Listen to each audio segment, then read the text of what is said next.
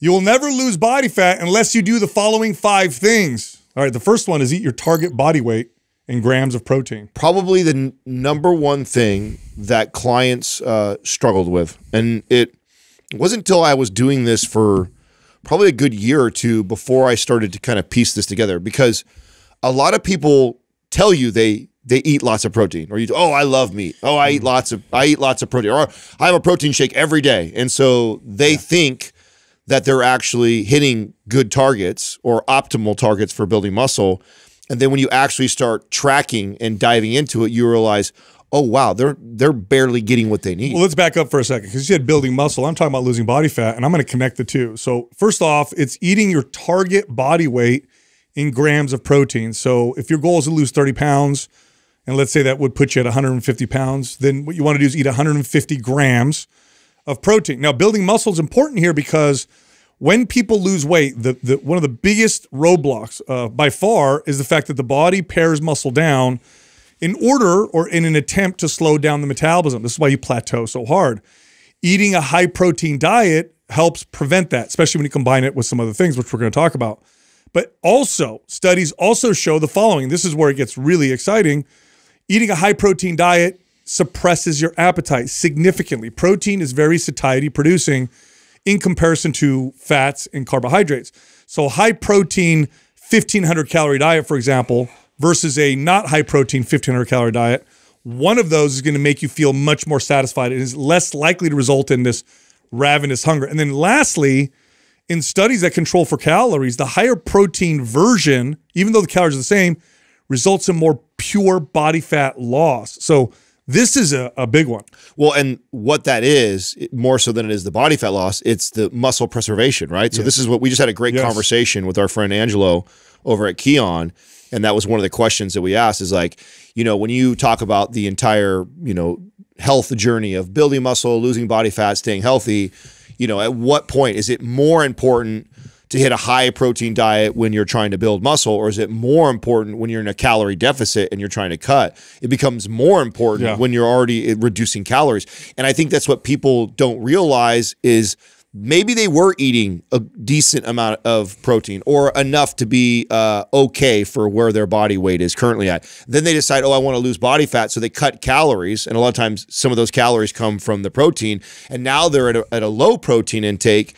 And that's a surefire recipe for them to not only lose uh, weight on the scale, but to also lose muscle along the way. Well, once you discern whether or not this is, it's not just a weight loss goal. This is a body fat specific weight a loss goal of losing body fat. We have to consider preserving as much muscle as possible because we're trying to, um, you know, build up this new composition mainly of of lean muscle mass. So we have to be able to be real focused on uh, preserving that muscle by Yeah, costs. if you look at um, the studies on weight loss, when people cut their calories um, and don't increase their protein and don't do other things like strength training, which we'll get to, uh, forty percent of the weight, in some cases half, come from muscle. So now you're just smaller.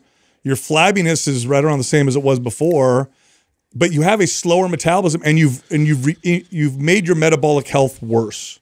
Yeah. So this is why people have such one of the reasons why people have such a tough time. And then of course the appetite part, right? The satiety. Uh, if you could get, if you could keep cravings and hunger down, um, then your odds of success go through the roof. And high protein does that. this also explains to a lot of people that have struggled with this before where you've gone and got your body fat tested whether it be by a trainer or one of those body scans and then you go on your weight loss journey with the intents of losing body fat and you actually drop weight on the scale. You drop 10 15 maybe even 20 pounds and then you go back and you go retest your body fat. Oh and you're excited to go see like how did i drop? I was at 20 something 25% before let's see where i'm down to and you are baffled by what you get, which you get a test that shows you you're at the same body fat percentage or sometimes even gone up.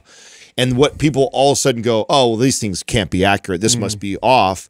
Where no, it's more likely that what you did was you cut calories, you probably cut protein too, put yourself in a deficit, and for every pound of fat you lost off your body, you also lost a pound of muscle, which puts you in the same position or a worse position from a mm. body fat percentage perspective. percentage is still high. Next up is to lift weights, and this is just connected to the first one, but uh, more important for muscle is to strength train. Your body is only ever as strong as it thinks it needs to be. It will only ever have as much muscle as it thinks it needs to have. Now, of course, there's genetic variances here, but for your body, okay, your personal body, it's not. It, it's never going to be stronger than it think it, needs to be. Now, why? Well, muscle is expensive. It's a, it's metabolically expensive tissue. It costs a lot of calories. It costs a lot more calories than, than body fat. So for your body to have it or, or to keep this expensive tissue, it needs a reason. And strength training is that reason. When you lift weights and you stress the body in that way, your body says, we need this muscle. In fact, we need more muscle. We got to build it. Now, this also can contribute to a faster metabolism. When you lift weights and you strength train, you do it properly, oftentimes you end up with a faster metabolism, which makes fat loss much easier. So this right here, by the way, the studies on this are, are, are conclusive. When they compare different modalities of exercise and weight loss, only one of them results in pure body fat loss. The other ones still result muscle loss. And that's strength training. Strength training does that. So I, I love talking about both these back to back because they're interconnected. And the biggest mistake I see with people that go on a fat loss journey and that lift weights, they do it in a circuit style, or they do, yeah. or they do too much volume, too much intensity, thinking more is better and you're going to get you more results. And you have to understand in the context of a low calorie diet where you're cutting calories. Uh, for you to be increasing intensity, increasing volume, or running things that are endurance based, like circuits and Tabata and stuff like that, does not send a very loud signal for you, your body to build muscle. And even if you do send a loud signal, say you do a lot of strength training, but you just do too much of it and a lot of it, and you don't feed the body adequately, then you're not going to build muscle. And in fact, you may not even hold on to muscle. The body ends up paring it down because you're not getting adequate protein. So the two of those are interconnected, and it's so important to have the right balance. We need to be less concerned with calorie burning. And I think that's a big uh, misconception a lot of people have towards trying to lose body fat. They think that we need to burn calories by all means necessary. We need to strength train, and strength train requires rest periods. And so this is something to consider with that, and then adjust. You know how we're eating is is, is a lot better strategy. Traditional strength training is what you need to do. when we all first met, this was one of the things that I think I w- was so drawn to to the MAPS anabolic protocol that Sal had written, because uh, it took me a long time to get here as a trainer of realizing that oh I'm I'm doing the hard work with the diet with my client, like getting my client to hit their macros and reduce their calories. That's that in itself takes consistency and discipline and figuring out. And then once we had figured that out, the mistake I was making was, you know, trying to beat them up in the gym to burn more calories, to your point, Justin.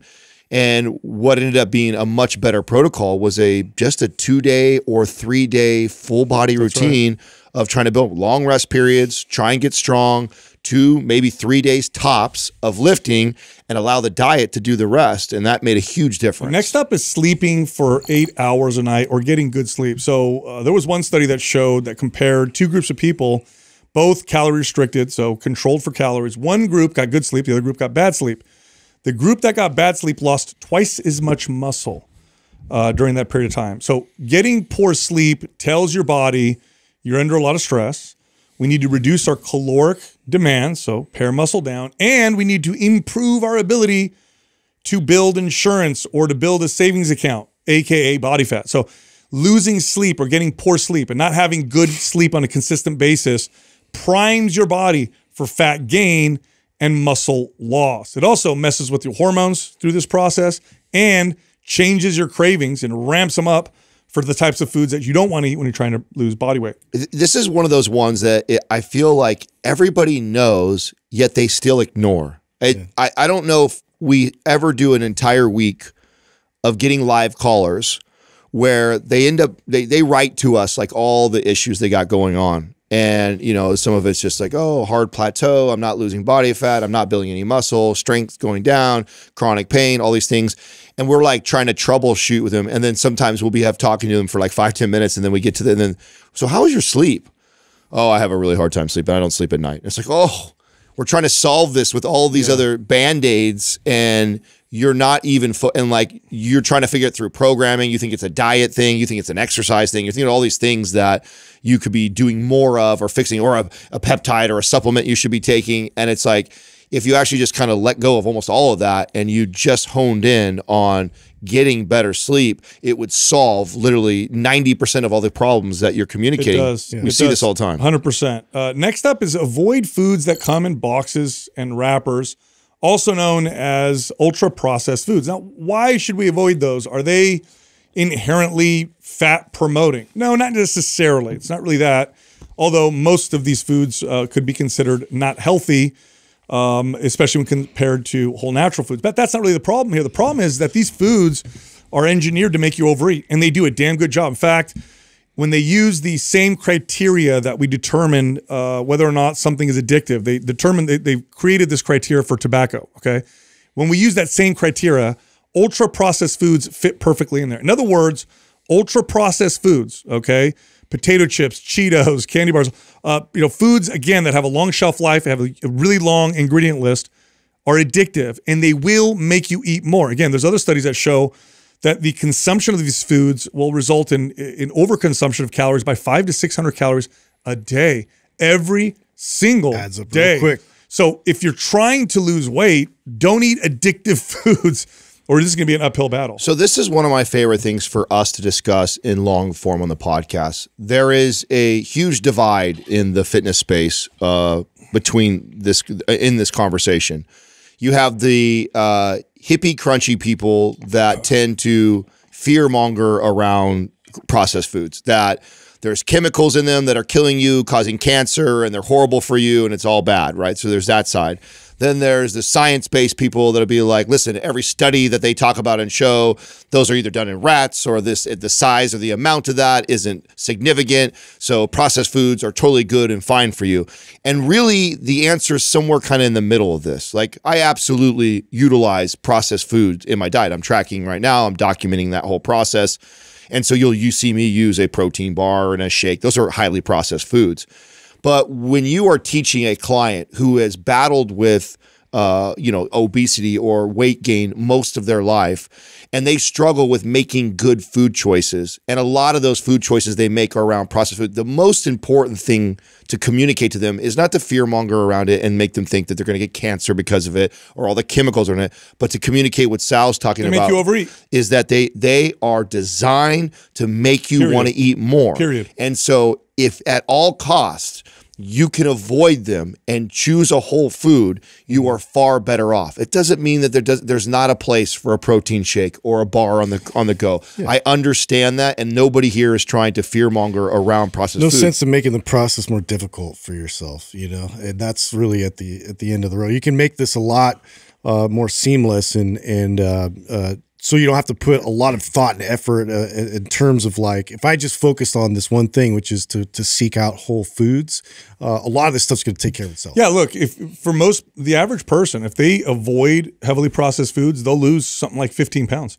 That's probably what's going to happen for most people just from doing that, not worrying about anything else because they make you uh, overeat. That's what they're designed to do and they're really good at it. And again, but if you judge them by the criteria uh, that we have already designed to determine whether or not something's addictive, by that same criteria, uh, these foods are in fact addictive, and so avoiding them just make things a lot easier. it's it's actually just really practical good advice. Again going back to like i don't think that we're trying to scare people around that. It's just over years what we've learned training so many people is that oh wow if i could just convince my clients to eat whole foods i actually didn't tell i didn't need to tell them to weigh and measure and track they i literally could just say hey when you're hungry eat just make whole foods and go after protein." We've seen first how this all plays out. Like that's the the beauty of training so many people. Like you see these tendencies and you see how this ends up. Now, last up is to stop weighing yourself. Now, I know it sounds crazy because you're trying to lose weight, but really what you're trying to do is lose body fat. Uh, obviously, if you lost your leg, you would lose weight on the scale, but that's not exactly the kind of weight that you want to lose. You want to lose pure body fat. There are better ways to measure your progress, and the best thing to do is to do a combination of measurements, uh, which include things like energy, strength, performance, sleep, mood, and then you can throw something in there like a body fat test. Body fat testing is far better than weight than weight on the scale because weight on the scale simply shows mass. In other words, if you lost 10 pounds of body fat right now and gained 10 pounds of muscle, you would be smaller because muscle is much more dense, much more fit, much more sculpted, faster metabolism, but you've lost zero pounds. Does that mean you're not progressing? Not at all. In fact, that would be a massive success. And oftentimes the scale ruins people's days. It, it makes them think they're not progressing when they really are. It just messes things up for the most part. I just recently went on a rant on my Instagram and did a whole clip on this about the scale and not being tied to this because actually one of the best places to be when you are trying to reduce body fat and hold on to the amount of every bit of muscle you have, maybe even potentially build a little bit, you want to see little to no movement on the scale. And this includes somebody who's trying to lose 50 to 100 pounds, which is hard for sometimes someone like that to wrap their brain around that. You look at me, Adam, I need to lose 50, 100 pounds. Like it would be a good thing if I saw 10 pounds on the scale. No, not if we're strength training and hitting our protein intake. Not in the beginning. Yeah, at the very beginning, if I'm doing a really good job of feeding your body what it needs, hitting that protein intake and strength training, I should see a really nice, even exchange of I lose a little bit of fat, I build a little bit of muscle. I lose a little bit of fat, I build a little bit of muscle. And so the scale kind of hovers around the same thing. But what's happening is you're getting stronger, you're getting tighter, the waist is coming in, but it's a slow, gradual process. and then at some point, your metabolism is sped up so much that then you do lose all the body fat. But in the very beginning, if you if you start a Then you have program room to do that. and lose a ton of weight right out the gates, is typically a bad I can't tell you how many clients I know that were, you know, addicted to weighing themselves that course corrected when we were doing all the right things because they didn't see movement on the scale fast enough. So that's why I like this as a tip because it really is a very deceiving tool for most people. And it's not that you can't possibly use it. It's just one of those things. It's like, you know what? If we're doing all the other things we're talking about, you're going to be just fine not weighing. Hey, sorry to interrupt. Look, we have a free guide. It's the benefits of eating whole foods. This gives you a shopping list, what foods are best for proteins, fats, carbohydrates. There's recipe samples. It's all based on real, whole, natural foods, and it's a free guide. It's totally free. You can get it if you go to wholefoodsguide.com or by clicking on the link in the description below. Yourself. Speaking of fat loss, okay, I just pulled some interesting Why'd you point at me? data up. Justin. Speaking of fat I, I just I just brought up some data and some interesting statistics, or should I say studies on probiotics and fat loss. Do you guys know there's actual studies that support probiotics for fat loss? I'm going to bring a, a couple of uh, things up for you. So one study showed that probiotics help release the natural GLP-1 hormones that you produce in your body. So you can actually, so we all hear about the GLP-1s, right? You take these medications, they make you want to eat less because that's what it does, right? GLP-1 hormone tells you you're full. Probiotics also help release this thing. And this is why in some studies, people that use really high quality probiotics end up eating less without really even trying. They also have, there's another study that shows that probiotics may increase the, the level of a particular protein called, called angiopoietin like 4, which leads to decreased fat storage. This is like this peptide, this protein, when it's released, tells the body we don't need we don't need to store as much body fat. So it slows that process down. This is all from probiotics. see that's interesting. I had such like a simplistic uh, visual of that in terms of it being like I'm repopulating my gut with like beneficial bacteria, and that's sort of out competing, you know, the other bacteria that was creating the cravings and all that kind of stuff. Uh, versus, you know, what you're saying is like so you Yes. actually have the GLP one uh, Hormone. hormone. Yeah, and, and probiotics also have been shown to help with uh, muscle building. Uh, so you know this if i- and you know the problem is nowadays when they do studies on gut micro uh, microbiota, it's now more common to not have a really well populated gut. It's starting to become a problem. Uh, maybe antibiotics uh, plays a big role. Um, Sure. but uh, probiotics show kind of this broad range of health benefits. The ones that were more established are like you know better skin, of course, better digestion, antidepressant effects uh, in some people, anti-anxiety effects in other people, um, and now they're showing fat loss and muscle gain. Now it's not like a huge effect, but it's an effect. It's an effect from something that improves your health. Well, to Justin's simplistic uh, kind of way of looking at it, I've always looked at it in a simplistic way too, but in a different way, which is just that it just makes logical sense that we have all these systems in our body. They all work synergistically. They all work with each other.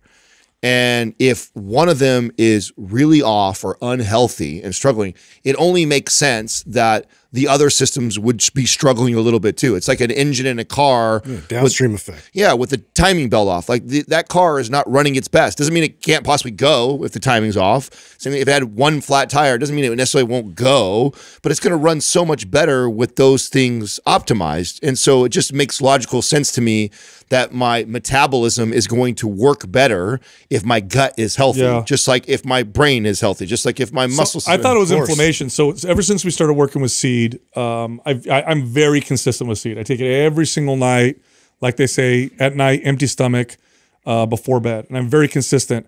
But there are times when we travel and I forget it or whatever, and I'll notice I'm a little more kind of stiff, and especially if I work out, I'll notice like uh, maybe a little more sore than normal. I thought it was inflammation. I thought it was, oh, my inflammation is going up. It may be that I'm literally not repairing like I normally would uh, because my microbiome wasn't as good. Interesting. And that's ever since uh, I've noticed with seeds. So it's definitely an effect, which is pretty cool. I, it was it was cool to find studies actually support fat loss and muscle building uh, from something like that. Well, speaking of gut, uh, I saw something online. I want Doug to pull it up. There's a new AI tool. This is related to your stool. That's why I think it's a good that. To transition. whose stool? to, to- it's called uh, I think it's called AI Throne. And oh, so oh, come on. Yes, Let me dude. guess. You poop and, and it analyzes your poop. Yes. A kind of cool. No. Oh yeah. Okay. Listen. Let me look, just let so- me I'm gonna have some fun with this. Let me explain why I think. Yeah, you would. Who, who makes this company? Is it China? They're not getting my information. We're not gonna get you the data. you heard about the ancestry.com and all these like Yeah, DNA uh, gathering businesses. Hey. like, Yeah. what happened to that? Yeah. Hey, so listen. There's gonna be some cloning. Uh, when, when you guys, hey, when you guys think back, uh, uh, like your journey in health and fitness, both as a trainer and just as Yeah. like a fitness person, I, one of the things that I remember being like, uh, like a kind of an aha, or better yet, a duh moment. I feel like Yeah. was actually really paying attention to my, my stool. Dude. Like for the longest time as a young teenage kid or even early 20s, it's just like, oh, I thought it told you nothing. yeah, gonna- I thought it was just that was just part of life. Is like some days you got good days, some days you got bad days. Have you guys ever watched the show Scrubs? No. I really hope the editors find this. There's this song. It's like it's in your poop. It's in your poop. Everything comes down to poop. You can find like literally everything that's going on in your body. You can, That's why I don't want to do this because does this company send my poop data somewhere? Who buys that? I don't know, but look, well, it, that you did, yeah. it looks pretty sophisticated, right, Doug? It does. Actually, there's an app that goes with it. You just hook this thing on the side of your toilet. I got some yeah. bad There's a camera that. that faces down towards the water. Yeah, And, and, you uh, input your food too, right? So it probably helps you get close. Like if you're if you're putting your food in plus what you're what's going on with your stool, How do you probably gives you good phone insight. afterwards? I would imagine it. it would start to connect the dots for a lot of people who are absolutely clueless about how certain foods are affecting their You know, digestion. presidents when they go to other places, other countries, Yeah, they bag their poop yes, they won't let them poop, and then they have to keep, they take the poop back. You know that, right? Wait, wait, wait, say what? because they could find Hold on. what. You didn't know this? wait, wait. When presidents go to other countries, Yes. they It- poop in a bag. They, and if they it? go to another country and they poop, the, Secret Service Secret takes Service their poop. grabs the poop. no, they don't. yes, they do. hundred percent. Fact. No, they don't. Look it up. Yeah. Fact check Look these it up. guys. This is, stop spreading stupid rumors. No, this is true. There, there, there is a Secret Service guy that get, carries Yes, a plastic yeah, bag around yes. of, of Trump. I don't know and- about the plastic bag. Biden shit. R- real shit job. but they take they they don't let the poop stay there because of the. How do you get that? Like that has to be like the lowest guy in the totem pole. Like, it has to be. Yeah, No, you, fucked up, Steve. You drew the short stick today. looks like, honey, Timmy's on like the you're face- on. Yeah, you're on Biden's. poop Timmy's on the. FaceTime. oh, hey, Timmy, did you get the job? Oh my God, he's in the Secret Service. what do you do? They're happy What? with Biden. They just change his diapers. Come on, this I swear they'll Come capture on, it. it's not because real. yeah, because you could get DNA from it. You could get all kinds of information and potentially create a bioweapon, a targeted bioweapon, a clone. Who knows? There's, specifically from just the president's poop. Why? Why? they do it for his. I don't know if they do it for any of the Well, world yeah, leaders. th- that's the thing. They, yeah, they, they Why don't know it- what kind of medication you're on. Like, Yes, if you have any kind of cancers. Like, that's the thing. There was rumors spread. I remember even like Putin. They were talking about like he potentially might have some kind of cancer, and they were like spreading rumors about it. Did you find it, Doug? Yeah, I'm looking at this. Um, yeah, there's He doesn't know how to Google. Conspiracy. Hey, He doesn't know how to Google. No, he doesn't. He's not. well, a, you you Google it then. He's all, let me get on DuckDuckGo real quick.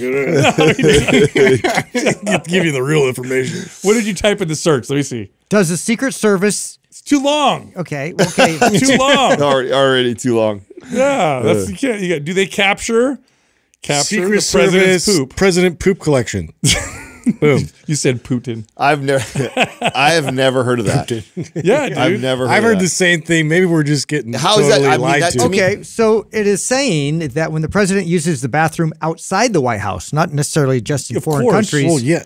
His feces are collected. Oh, anywhere. Told Yeah. you. Wow. That's even crazier. So not even at a when he's at full-time job. Yeah, exactly. It's a full time job. yeah. So That's your job. Foreign agents can collect the, the feces and analyze it for drugs, medications, illnesses, things like that. Yep. So Yep. So it's not just when he travels abroad. It's like if Anywhere. he shits outside the White House. Yes. it's- wow. We got a presidential poo situation. Dude, how come no one's ever talked You know what? about That sucks. That's a what a weird Job? thing to- no, just even if you're the president, how embarrassing. yeah. Yeah. Uh, all right, bro. You're in. You know, I'm done. We Sorry. gotta stop feeding them. I mean, how is there how is there not some underground blog of like guys that have been doing this for years being like talking about different presidents like shit patterns like Yeah. boy you There's, think gotta you're be, there's a book out yeah, there. This yeah, is- exactly. Oh man, you think you think his was bad? W. Let me tell you about him. His was bad for. Oh, when, when he when he when he, when he This went guy loved chili dogs. when he, Oh, when he talked to, when he talked to the president of China over there, let me tell you what happened. I don't know what they were serving him. Uh, yeah, so that's real, dude. Hey, Yeah. s- hey, speaking of like, but don't you? Okay, stop though. We, went, right. we guys went sideways on this, and I actually think this is actually really cool technology. what is it looking for? Oh, yeah. How about that? What is it looking for? I mean, uh, let's see here.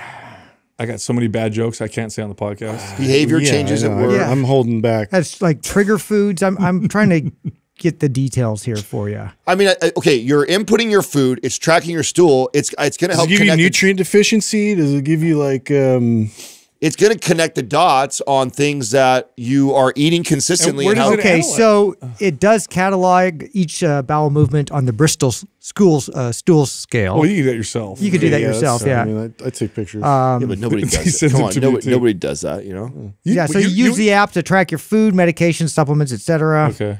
Uh, so what this app does is connects the dots. See if your and- kid's taking drugs. You know yeah, I mean? something to that. Hey, we didn't have a conversation. we analyzed your poop. How did you find out? yeah. I don't know. I don't I, know. I think there's things that I thought myself It'll and a lot of clients were, send it to did not someone. bring awareness to till later on, and this is like a real easy indicator right away that something is off. And I can't tell you how many people No. Don't you're have right. a normal stool No, you're right. and think that's normal. My old studio. That's your body trying to tell you something is not agreeing with you. my your. old studio. So many people I my I used to have this like she, I, I've, talk about her so many times because she taught me so much. She was like a functional medicine practitioner slash physical therapist. She asked me one day. She goes, "Sal, can I put this on the bathroom door?" And I looked at it, and it was a Bristol sco- Yeah, stool remember you talking scale picture. Yeah. and she put on the back, and I was like. "Ah, all right, let's put it there. I guess it's the bathroom. Why not? Yeah. So many conversations, whatever, but so much awareness yes. over that. That's 'Cause it- right. People don't check. They don't know. I mean, you know how I know that is I was a trainer and I still was like not Yeah. really paying attention to that. It wasn't until later I really like had this aha moment of like, oh wow, that's my body trying to let me know ahead of time that I haven't. Speaking of tech, did you guys have you guys been reading about Zuckerberg? All I saw recently I was saw like he he's wears. I saw he wears uh, luxury watches now. No. What? Yeah, you know he was. He's been known to be like super undercover. You know, this is like a new thing on on him. He's like, uh, Oh, he's like he's flexion. had a glow up. Yeah, he is exactly. yeah. That's a good way to say. He's got like a he did like a Bezos move now. He's kind of No, listen He's to trying he- to appeal more to uh, Republican, I guess. So he's like, Yes. he's claiming that he's like full on libertarian. Yes, like he, he's he now identifies saying, with it. He's now saying he's full on libertarian, and he's trying to repair And his like, image with re- with Republicans. And of course, he commented on Trump and said he was badass. So Zuckerberg, who owns these huge um, social media companies, is That's now, like the kiss of death, right? For these, uh, I don't know. I mean, it used to be, is what I'm saying. But well, you see, the reason he got a lot of hate because they were the, one of the first ones that kicked Trump off. well, all the tech companies Yeah. were like, no. I mean, I told you guys my theory on that. I don't think I never thought it was the the him. I think that Mm-hmm. it that was because most of these dudes that did this all this open internet stuff were li- these are those are libertarian values. Yeah. Yeah. I mean that they're built off of libertarian are. values. So the thought that they were these like hardcore Democrats ne- never resonated with me when people tried to say that stuff. It was like more so maybe they have a bunch of young kids that are you know uh, leaning more socialist and shit like that. That then they're influencing some of the things that happened there at Meta But I never once thought he was like that. And This so- is good. I like so libertarian ideals are nice if you are pro freedom, pro free speech, pro uh, you know, or anti censorship. then you want someone who's got libertarian ideas uh, because their ideas are, are really based off of like freedom, right? The, the old concepts of liberty uh, or, or classical liberalism is what they would call it. So this is a good thing for people who believe that. If you believe in censorship and all that Yeah, stuff, such bad a good, news. Such a good podcast. I've try, I was trying to find the name. I know his last name's Epstein, but it's not the Epstein you guys think. Mm. But uh, he he was like digging into all the data from Google specifically. Uh, and it was very revealing in terms of how they sway Yeah. that 14% uh, voter. Yeah. It was, it, and, and then you look at like ever since, um, you know, Trump was elected and then to the, you know, even preceding that, like how they were able to like, you know, the the search results and like what kind of information you receive was completely dependent on what they're putting out. Now, is that really when you guys think about this, right? And the history of newspapers and the people that own them and had control and power. This has kind of been happening in media forever. Yeah. Yeah. It's really not that No. alarming when you think about it. I guess because social media is so fast and we can we get it right in the palm of our hand so quick and everybody I guess is in, in- integrated I into think it. it's just like It's the, really the not- curtains, the curtain's been open. That's it. Yeah, it's yeah, always It's been always been way. there. The yeah, curtain's it's open always now. been We're this more way. aware. Yes, it's always been this Yeah, way. we're, we're more So- aware now. I mean, you go back, look, 100%, you go- look, go back to. There's so many things we could point to. The Gulf of Tonkin Yep. incident that Yes. got the support to Real go to event. war with Vietnam. That didn't happen. That didn't happen. That was a fake event that they Yeah. used, and we know this is all confirmed. So it's all been happening forever. I think now we're just more aware Yeah, of this kind of stuff. I know. Yeah. Does that make it better or worse? I mean, is it like should we? I feel like it makes it better, but I'm just more stressed out. So I don't know. yeah, I don't think it, that You is what I'm saying? to me. That means it's not better, bro. It just kind of reminds you how much, li- how little you have control. I, of you know, think. it, it- you know what reminds me is like, so I never really understood the quote, uh, "Ignorance is bliss." yeah, I know. Yeah. Until like, like, like until now- Matrix. Yeah, you're yeah, like, That's I- the yeah. best scene. That's such a great scene when he's like, just I want to forget that I'm in the Matrix." Yeah. it- it's so much better. Yeah, I know. It's- I know. When Neo wakes up and he's like, "Oh fuck, put me back to sleep." I'm eating this sucks. snotty, whatever. Dude, I can't believe I didn't bring this up when we were talking about the toilet. The poop- There's a there's a, a guy who made a supplement. This is real. I don't know if it works, but it's real. Okay. It's a fart pill. Uh, okay, Doug, look up. I'm gonna I'm gonna give you the look this up. It's bringing uh, the knowledge today. yeah, this is going P I viral. L U L E P E T. Okay. And, that, and then fart pill. So apparently, I L U. P I L U L E P E T dot com. Oh. So apparently, this is a pill that you could take that makes your farts smell like roses. a pill. What? That's what kinda, it says. That's kind of cool. That's what it says. That's I don't know if it's cool. real. That's kinda cool. ano- Another song comes to mind. With It's this. I think the roses smell like poo, poo, poo. yeah. Yeah. Is this a real? Is this like really? Work? I mean, that's pretty brilliant if it is. Wow. I- uh, and how do you show that off? I mean, Guys, babe. check this out. yeah. Ooh. Well, that's great. Good job. yeah. is it real? Come on, fact check this. It this seems is to be. wow. I mean, I wonder if it's a joke though. Is it real? Could it really be? Look at the guy selling it. He looks Yeah. like someone that would sell We you a should, fart te- pill. we should test this out.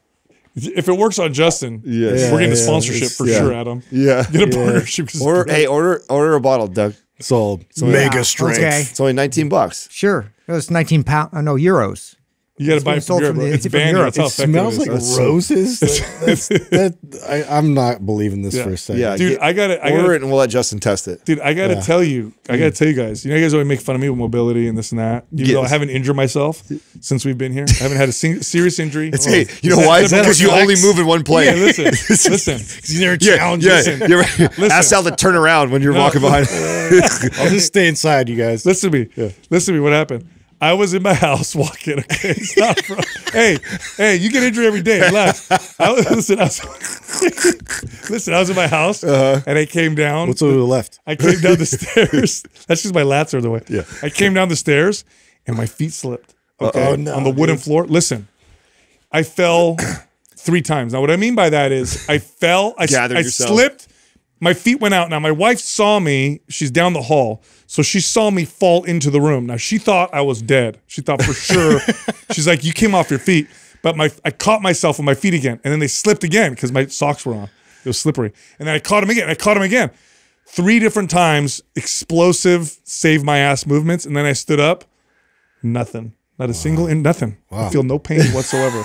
Wow. So proud that I that I. That's only because myself. of your new walk with Jesus. That's the only reason. He saved me. yeah, yeah, that's the only reason. Oh, wait, a- I did, I did think about Yeah, that. your, Yeah, yeah. your new Pumas. I thought, things are hey, nice. while it was happening, uh. I was like in my head, I was like, I'm gonna get hurt. No, no, I'm going. I wish you down. had seen it. I guarantee it was like super slow motion. You Yeah. know? like big dudes, like you know, She it said- feels fast. Hey, it's she not. said she saw me like just because you know the walls right here. She saw me go, oh, she's like, oh no. So we all we oh you don't oh you have stairs in your house too, don't you? Yeah. Oh, So we all have stairs in our house, Yeah. right? Do you guys do things? I do this. Do you guys do weird stuff like this where you when you walk up the stairs? Sometimes you'll like I'll I'll I'll calf raise balance, calf raise balance. Like I'll do stuff like that to challenge. skip at least one or 2 I'll challenge my stability like that. I intentionally do I that don't do because I feel like that it's like one of those things that Oh. if you you don't use it, you lose it. You know what I do? I'll do the um, I'll hop, uh, you know, left to right, like I'm doing uh, ice skater kind of up. Up the sometimes. stairs? Yeah, Yeah, Do you I, really? I do Yeah. that too. I just did that like two. I, I had to get up the stairs real quick. got 12? pretty And went, effective. really? You No, I just don't, want, bro. I don't want to lose it.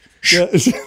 That Athlete. The, that story I have a lot tell, hey, that that story I tell about jumping out of the truck where my knees felt like they're gonna explode, woke me up, bro. That was enough for me. Like it was like it was that was enough for me to realize like, whoa. I almost fall if the lights are dim, bro. I, don't, I can't see the stair. Oh. What's going on here, dude? but hey, you know what? In case someone ever got to pick 500 pounds off the ground, you got the you I- got you yeah. got I- him. You can help hey, him out. Hey, seriously though, so literally, I swear to God, for an hour afterwards, I was waiting to see if I felt so. Like I'm good. I can do it. I can do it, Dude. Maybe you're right. Maybe it was Jesus. Yeah, it it did feel like I was going down. Yeah, I mean, I've I've like recently. I told you guys like my youngest, he's like really into skateboarding now and stuff, and he's like trying to pull me into the to the culture and like get me like doing stuff on his skateboard. And like I narrowly, narrowly like avoided injury a Oh. few times. I'm like trying to do these like ollies, and and then I'm starting. To, my next move now is to try and do it while I'm moving, and uh, So you can ollie. yeah. Now the skateboard doesn't break nothing, huh? It's just Well, steady. it's close. It's- Like, I, I told him, like, I'm gonna have to get a big boy one. Yeah, I'm gonna have to get a big boy skateboard because it's it's not like These re- They're big. I mean, most skaters are not. You know, they're tiny, pounds. dude. They're They're, all tiny. little like skinny dudes. Yeah, Yeah, yeah. yeah. Oh, so, oh wow! And you get off the air. You get in the air. That's great. I mean, not Kind of. very high. I'm not gonna claim that. more than dude. me. He's like, I'm, I'm ollie This, the bottle this cap. much is is is all four wheels are off, dude. Can your son is he kick flipping yet? He is, right? He's close. He's that's his. He's been working. He's, Isn't he can actually move? Ollie over It's like things. the first big move. Yeah. Well, yeah. Once you can kickflip, apparently Well, that's like the big kickflip- learning curve, and then you got everything else comes off. That's that. like the definitive moment. Yeah. Wow, good for him, dude. Yeah, I had a I had a buddy. I, so I went to high school. Obviously, our eras when skaters got really big, and I had a buddy who I grew up with who became a skater, and he would practice every day for hours, hours, hours, every single day, and eventually got good. But it takes a lot. dude it's so much of a skill like it's it's it's it's kind of ridiculous. Like i'm not gonna get anywhere. Is he wearing skate shoes yet with the fat tongues and everything? yeah yeah, yeah. he's he's well he's not like he hasn't got fully like he, he just stopped wearing all the pads and stuff now because you know he goes to the skate park nobody wears pads. Nobody even wears helmets you know and i'm just like it's it's old school you know? Uh so he at least still wears a helmet because i'm like yeah like you, you're not quite like proficient yet Did So you guys ever watch those old skate videos? They would be on like VHS or DVD, and these are like some of the first like mm-hmm. yeah reality. Did you guys watch Yeah, yeah. those? Of used to watch course Yeah. I used to watch that. I was I was into rollerblading. Bones so I- Brigade, I was like, dude. Rollerblade. yeah, I was. I was. There was a time when it was actually somewhat. You got cool. the hips for it, dude. No, you used to take out you used to take out your two middle wheels and you'd put grind plates in there, and then you use that and you would you would grind. Oh, and and you do yeah, the yeah, rail yeah. slide Yeah, yeah, and- yeah, all that oh. Stuff. So I used to carry all our rode wax around. Go, huh? You. I rode a little scooter. Hey, speaking of injury, that reminds me. I wanted to ask you. Uh, I, I'm always, you know, you know how I explain science sometimes. You know, Yeah. not very well. It's not real. Yes, is make up my own stuff. You know what I'm saying? I get the point across. That's the important part. You know what I mean? Uh, trying to explain uh, what the Joovv light is doing for me recovery wise, uh, both injury or recovering from soreness. Now I understand that it's like supercharging the mitochondria.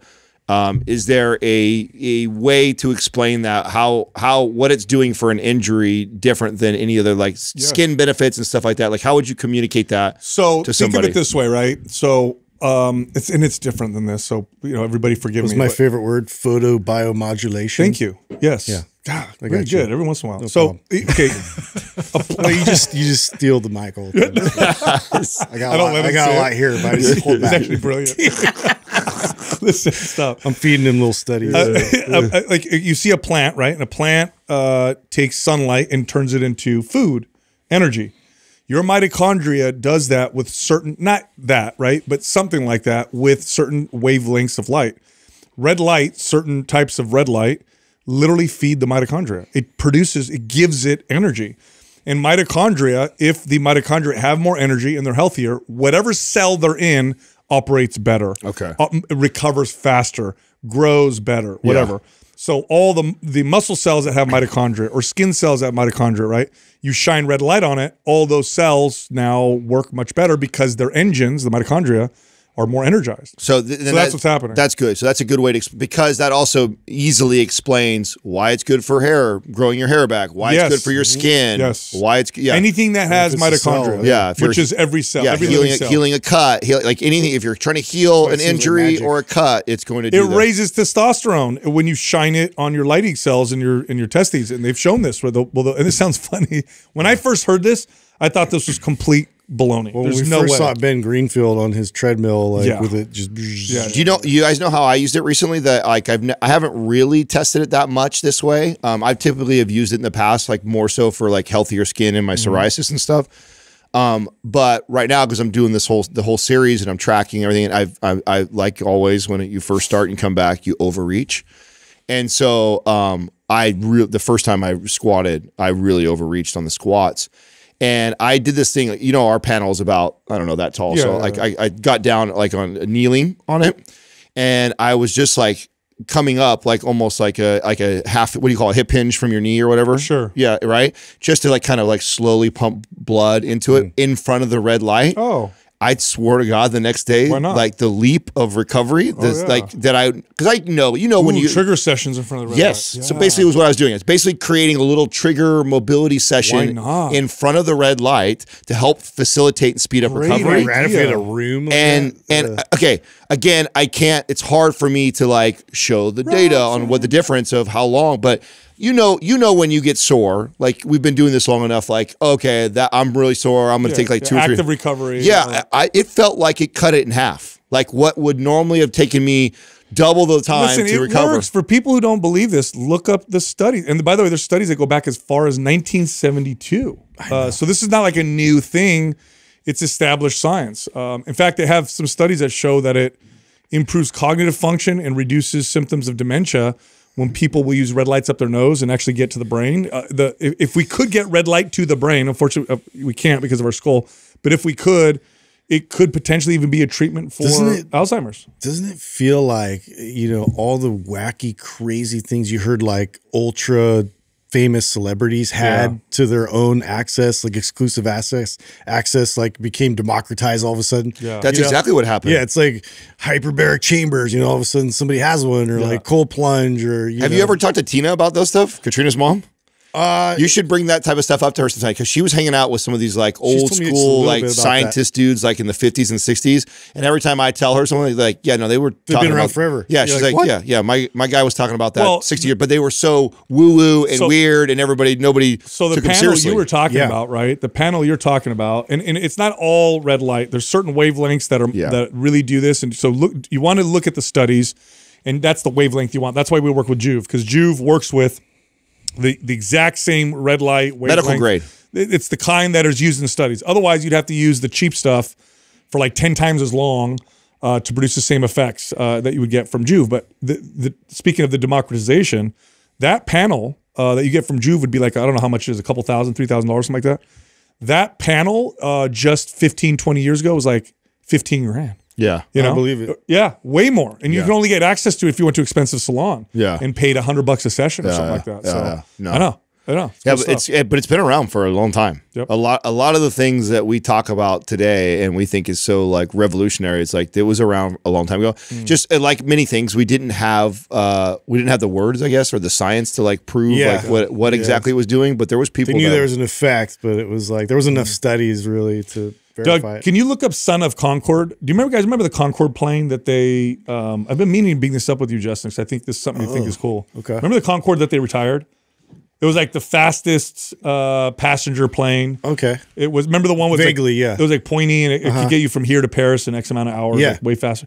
So I think they're coming out with another one, and, and- Yeah. and it's gonna be even faster. Like Mach. Uh, It's supersonic. oh, supersonic. Yes. Yeah, yeah, Super. I, I heard they were working on a supersonic jet to to be able to get you to like Europe. Roll. It'll fly 925 miles an hour, one and a half times the Oh speed of sound. Um, can you look up Doug, the son of Concorde, uh, New York to Paris, or something like that? I was looking up some stats, and it's like crazy, um, crazy speed. Yeah. Why don't we? Like, come on. Like, how awesome and convenient would that be? Where do we? Like, Where do we? Where do we? New York to London in three and a half hours, that's Wow. so sick. Holy. which is like what is that? Half? How much is a traditional? New York to London? Yeah, New York to London. What's a traditional flight? Ten uh, hours? Is it ten hours Yeah. from New York? Because New York's already all the way over there. No, I, think it's like six or seven hours. Did you- I don't know. Check that. That's it's uh, probably Yeah, close to ten, bro. Some of them have gone as fast as two or th- you know two to three hours. Hmm. Yeah, let's look at the commercial. Yeah, jet. There you go. Let's see what that says. Seven hours, almost Se- eight hours. Bro, so half, Yeah, less it- than half. Yeah, that's crazy. You know why they they retired it? It was to the cost. Um, the tickets were so expensive, and people just weren't weren't getting them. Hmm. But I would. How fast are we gonna get? Well, I mean, there's certain. At what point do we go back in time? Superman dealt with that. I mean, we're going faster than the speed of sound. Well, when we go faster than the speed of light, how much farther do we have to go? Yeah, Quite a bit. it's not gonna happen, bro. Well, you, you We're guys gonna laugh and say that. I bet you when we were doing 50 miles an hour, it was like, yeah, right, we'll go faster as speed of sound. No Did way. Did you know that they thought scientists thought that if you went faster, I remember what it was. Someone was making a train, some of the first like speed records, and they said if you go That's the faster, speed of light right there? Yes. That's pretty fast. plus, fast. plus the problem is you have mass. You see, if the faster you go, the more mass you build. So literally, if you did that, you create a black hole. You wouldn't be able to. That's why light. That's when we go back in time, right? No, your science is. You go.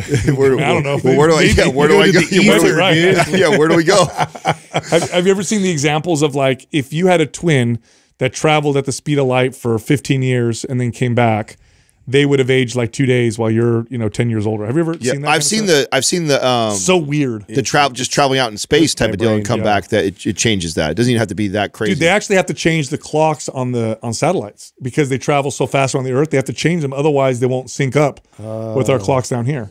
And the and the and the clocks on like the top of the tallest mountains are slightly I don't know slower I think than the ones down at sea level. It's I mean it's imperce- it's almost imperceptible, but they can measure it. so cool. I know, it's so weird. Yeah. such a weird, such a weird thing. That is crazy. Do we have a shout out? Uh, I thought you had one, Justin. Didn't you have something? Oh, I did the other day. Uh, I you used have- it already. What was the pod? Thanks for asking. Yeah. Sorry, I'm not prepared. Uh, let's see here. Oh, you know, can we can we shout ourselves out? What do you want to do? I, I love when we do that. No, okay. So I, I'm going to set the table for this because we didn't announce it before. Uh, Doug for, forgot to put it in the notes and tell us to say anything again this time. But going forward, bi monthly, we are going to do a webinar for free. Oh, We just did one, and this is for coaches and trainers. coaches and trainers, we are teaching you how to be a better coach and trainer, how to make more money, be more successful. It's, it's all free. it's free. It's completely free. Yeah, and we're going to continually do these webinars. Adam and I are teaching Yeah, this. we're getting feedback. We just did another one last We night. We just did one titled "How to Make Six Figures Consistently as a Trainer or Coach." That was the one we just did. and the feedback's been great. So uh, yeah, it's totally free to do that. We will be posting that so on the Facebook page, uh, which is uh, called what, Doug? uh, success seat. Uh, what is it? Trainers. Growth success- Secrets. Yes. Let me Trainer that Growth up. Secrets. Yeah, we should know our own Facebook Yeah, group. Yeah. yeah, Uh, let me get this.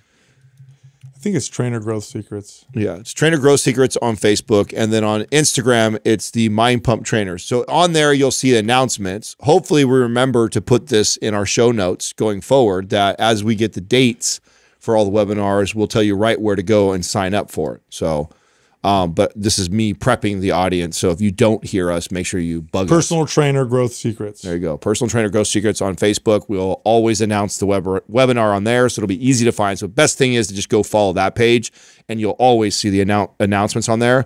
Or going to the Mind Pump Trainer IG page, you'll also see it on there.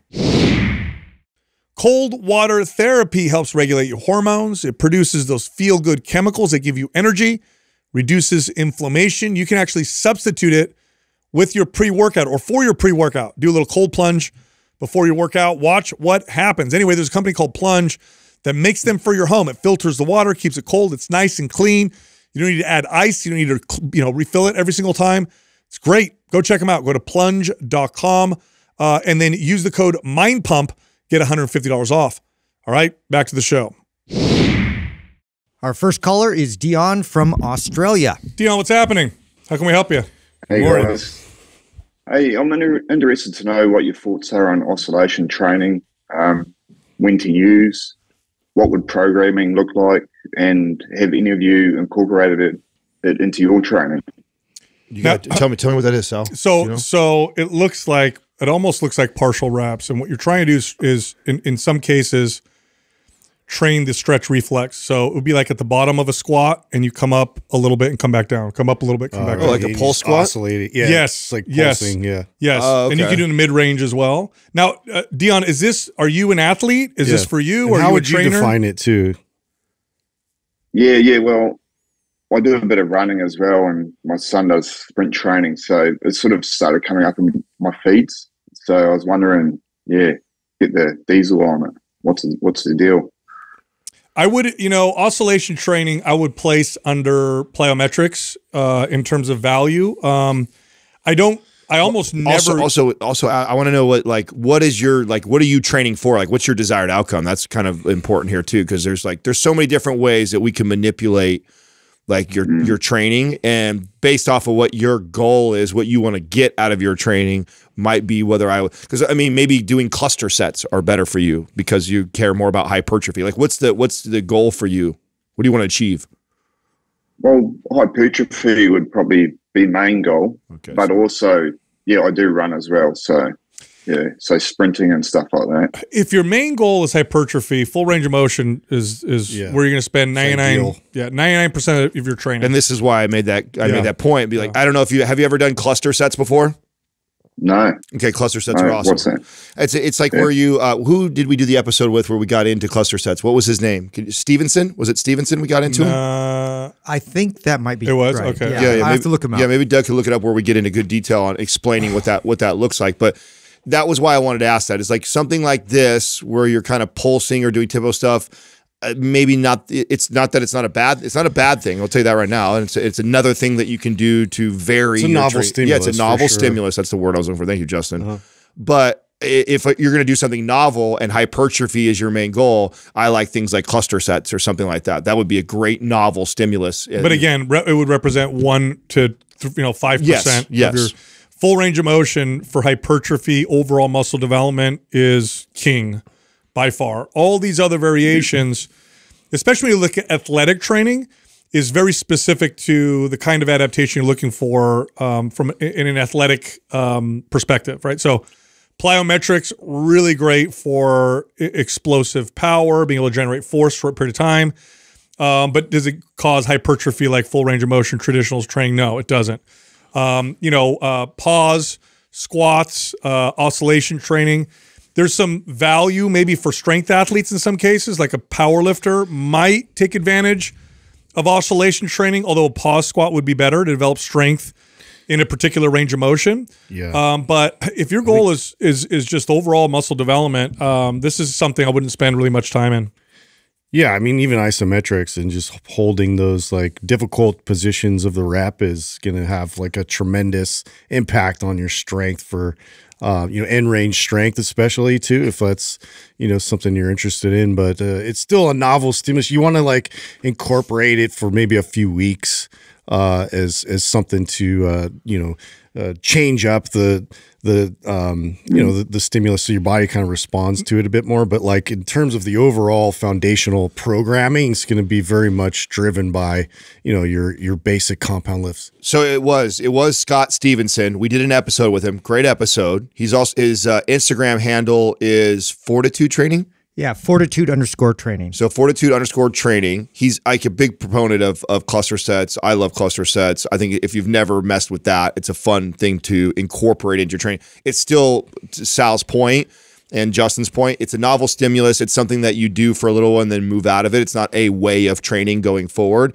But I love cluster sets because you incorporate full range of motion in these kind of partial type rep uh, reps.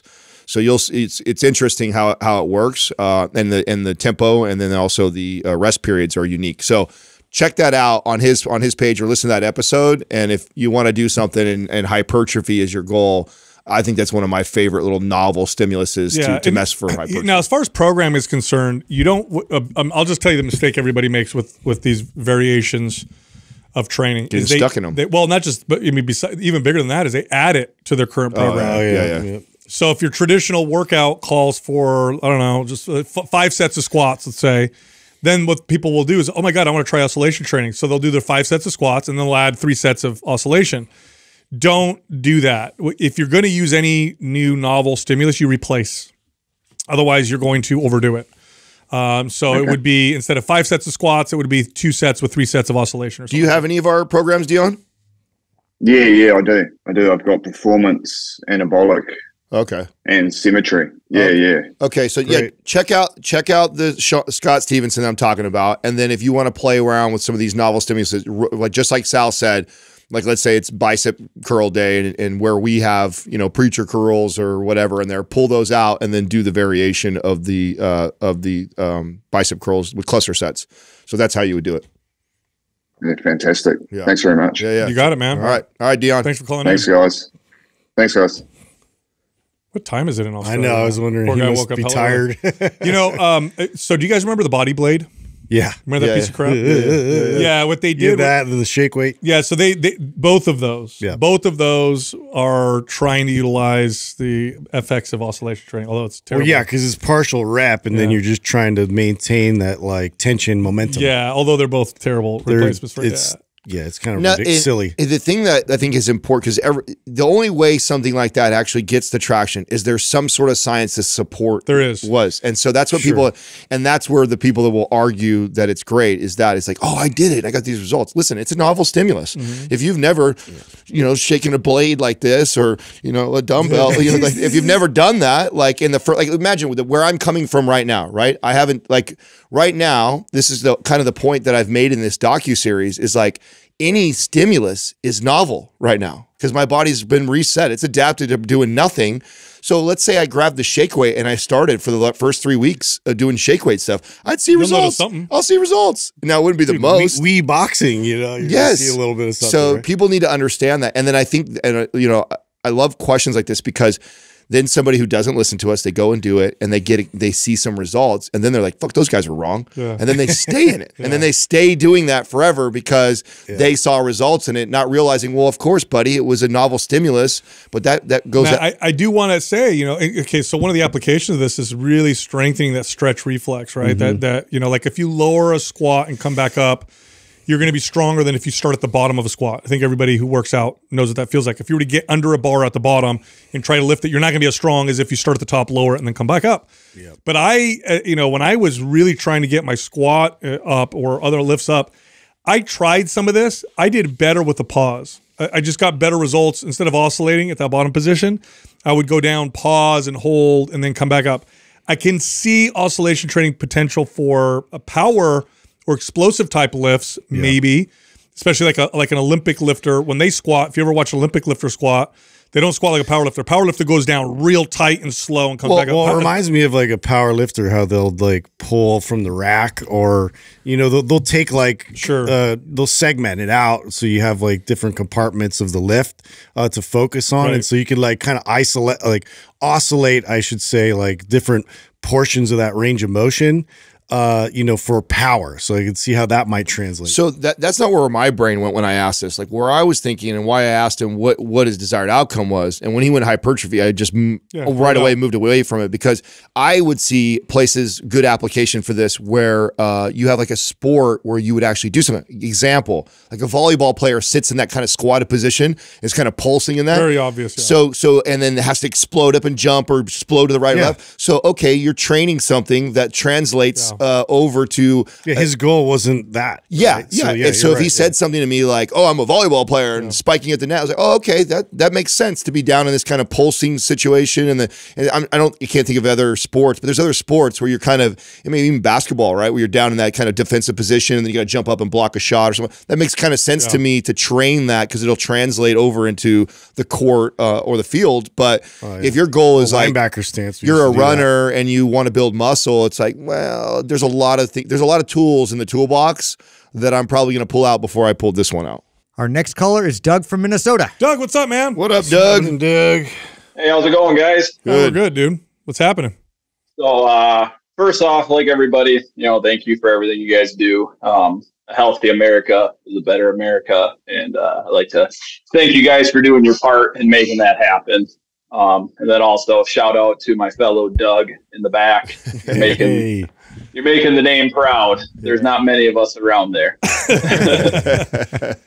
So what's happening, So, Doug? uh, it up. a, a quick uh, TLDR before about me before I get into my question. Um, 34 years old, father of four, 6'2", 200 pounds, right around 14% body fat. I uh, work out two to three times a week. Uh, currently running Maps Performance, uh, which I didn't think I'd like based on looking at the exercises, but actually I really enjoy it. So kudos to you guys on that. Um, I uh, own a dairy farm for work, and so very active job, seven days a week. Um, probably, probably average, or I know I average about twenty five thousand steps a day. Um, with that, I need about four thousand calories to stay at maintenance, and I have to be at maintenance. Like workout aside, it don't even matter if I don't hit that calorie mark. I just can't function properly, or to what I feel like would be the best of my ability for my business. Um, and as you guys know, the business is more important than working out when you're self-employed. Um, but with my business, I'm basically I got a lot of benefits. Um, basically, my own personal butcher box. I got unlimited access to homegrown beef.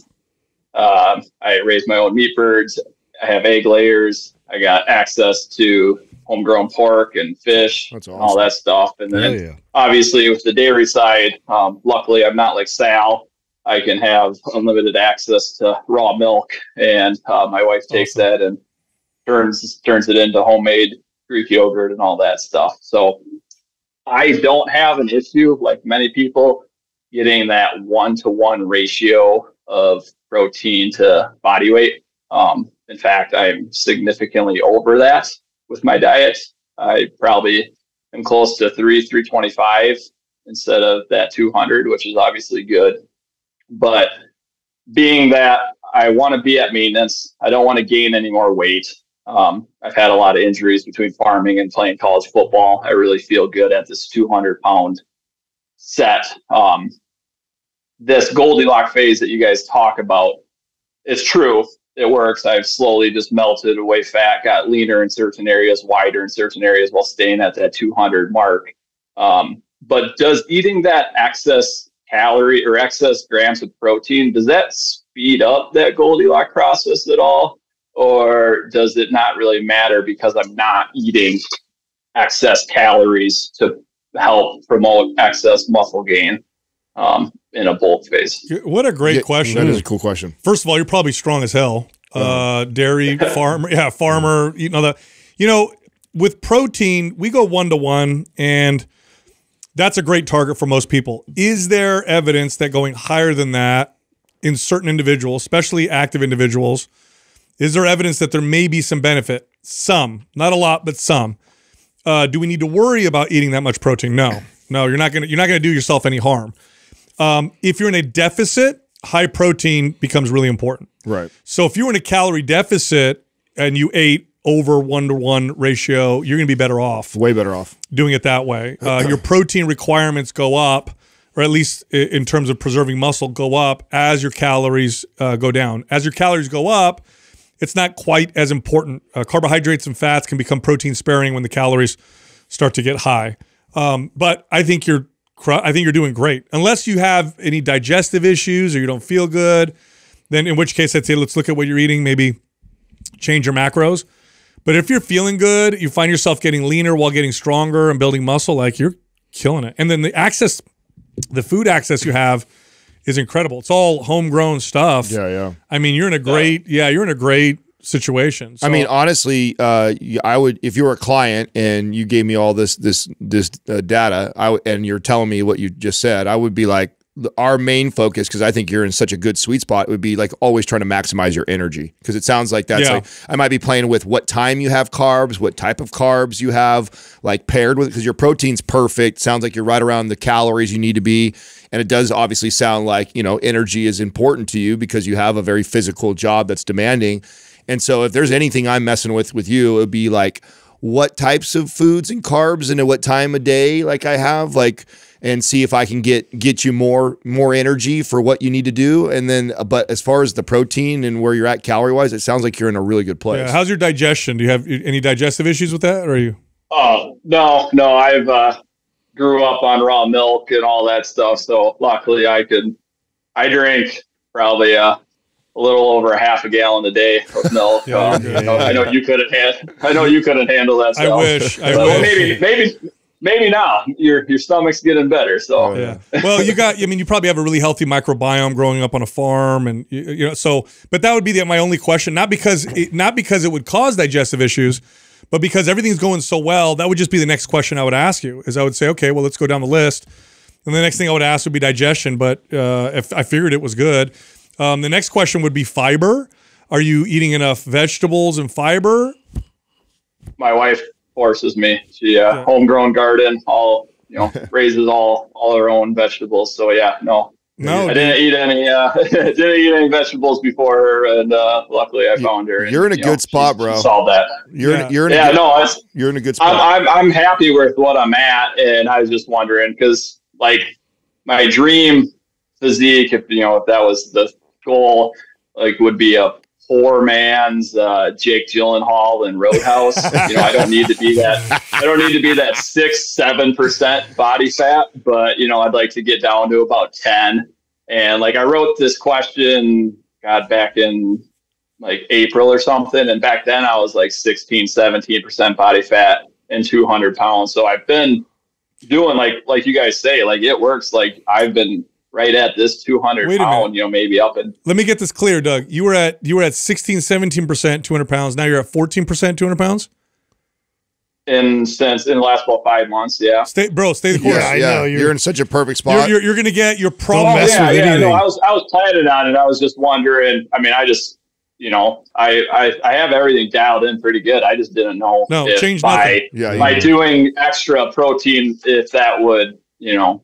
I mean, I know it's kind of a nuanced question. Change- Not no, it- people change struggle to get that. It's a really good question. In Yeah. fact, we have an episode with Angelo from Kion coming up where we kind of get into like when you're in a potential and there's probably days, whether you realize it or not, where you're you hit maintenance and other days you're a little bit lower, other days you're a little bit higher. I mean, you're doing really good of hovering right on there. And when you're in these days, whether you know it or not, where you're probably a little under maintenance and you're eating this high of protein, like that is the, that is the best thing you could Yeah. possibly do. I- look, and that is absolutely keeping your results moving as fast as they are because you, you're not parent when you're in that little bit of a deficit. We don't. We, I know you're not sacrificing Doug, muscle. Doug, I, I'm I'm very confident with what I'm about to say, but the mistake that you could potentially make is changing anything. I wouldn't change anything. If you're if you went down two percent, maintain your body weight, keep going, you'll probably hit a roadblock around 12 or 11 percent. That's usually when things start to get a little bit more granular, and then at that point, you can maybe do a little calorie deficit if you want. I'm going to tell you right now, 10% body fat is overrated, straight up, especially if you're physical, especially if you're a physical individual and you got a long, you know, you got a, physical job. You might get down to 10 or 9% and just find like, okay, I, I'm not, I'm not working as well as I did before. Um, and it really Oh, is, yeah. it, it really is overrated for most people. Yeah, I mean, I'm I'm happy. Like, if this is all I got, you know, if I didn't lose any more fat, like I I'm very happy with where I'm at. You know, we're all just a little selfish and want a little more. Yeah. I mean, it doesn't. It, you know what though? Like, also, if you're a client of mine, uh, we had we had this discussion just recently. Like, I I would love to take you there so you could feel it for yourself too. There's nothing wrong with pushing the body for. But what you will, you will see a, a decline in your performance at work. It's just a fact. If you start getting in a deficit for a longer, long enough period of time and get below ten percent body fat, I mean, yes, you're going to look crazy cool. But you'll also notice a difference, and then you know, it, and maybe it's great for you to go there, kind of feel that, and realize like, okay, this is cool. I said I did it. I said I wanted to do it. I did it but I also realize now the other things in my life are suffering, and so I'm gonna let myself get. And a I'm, little, I mean, straight up, like the difference between twelve percent, because you're going to probably get to twelve percent, Doug, changing nothing. I- I'm pretty confident you'll just you'll probably drop another couple percent. The difference between twelve percent and ten percent, nobody could tell unless you take your shirt off and you're at the beach. But you're in Minnesota. How often do you go to the beach? I can't even swim, so never. Nobody cares. Yeah, I mean, seriously, Yeah, and you're it's- married, dude. Yeah, yeah, what are we yeah. talking You about? got four Yeah, kids. exactly. You're, yeah, you're Yeah. good, bro. You're Yeah, good. You're doing yeah. you're doing great. That's you are- great. Yeah, I'm you glad are. to hear this. You're doing you're doing really good, bro. Can we send you- It's yeah, all what good. program? Let's let it, let us send you a program. What you just did? Uh, you just did performance. You had have anabolic anabolic. before. What else you got? You got anything else? Yeah, I got um. Well, what's the one app that you guys Aesthetic. Um, aesthetic. I have aesthetic and split. Um, I'd like symmetry. Okay, because I've had a lot of injuries between um, football and uh, okay. um, Symmetry. I played for college sure. football I and like that. farm, and, and I, I think symmetry. From what I've heard you guys talk about it, that would kind of help. Be a great program for you. it. Be a great program for you. Send us a gallon And- of milk. and- we'll send you. Yeah. Here- here's the deal, Doug. And so, in case we don't talk I'll for a long it. time or whatever, you're you're set up so nicely, and you now that you have symmetry and you have performance, you have such a good rotation of programs. Just always have at least one at one time out of the year run symmetry or performance and, and mix it up with the other ones, And you're fine. and you're going to be great. It's going to keep you so balanced. Uh, take your keep your joints healthy, taking through full range of motion. A lot of multi-planar movements that you're going to get incorporated. As long as you run one of those programs, either symmetry Mm-hmm. or performance, once a year, every year, while you while you mess with the other programs, you're, you're going to see consistent, good results. Stay healthy and strong. Perfect. Thank you guys. I really appreciate it and everything you guys do. All You got Doug. it, man. Right God on, bless dude. you. Keep farming. Love it. All right. Have a good one, guys. You Take it too. easy, man. I had a, I had, ass, dude. bro. Listen, Kicking I ass. had a, and I know you know this, Justin, because you played football. You get these kids that grow up on farms, and Oh, they're yeah. Mm. they're strong on another level. I had a client once who she grew up on a dairy farm, older woman. She was a surgeon, Yep. and she grew up in literally Minnesota. Actually, she had her niece come visit her. So this this girl was in her early twenties, and and she comes in, and I meet her, and I'm like, "You ever work?" First of all, she shakes my hand. I can already tell from her hand strength.